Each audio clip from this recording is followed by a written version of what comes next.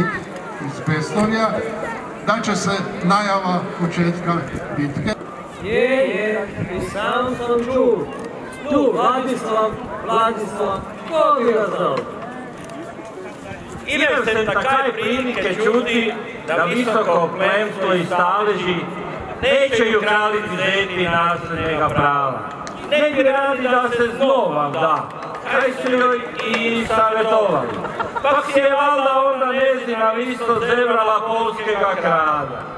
Kaj bi ona s dečecom? Veliju da ima sam 16 let. Nakon toga kraljica je sineka rodila.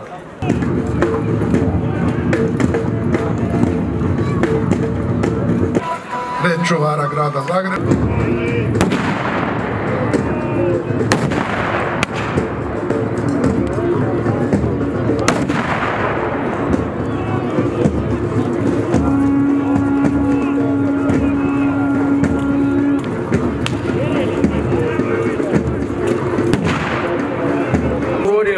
Kako napako napravio.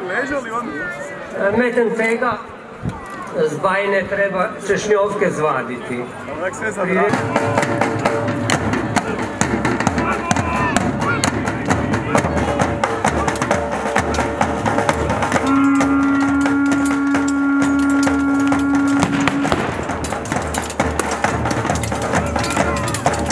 Našeg razglasa da se malo odahnemo, može muzike malo.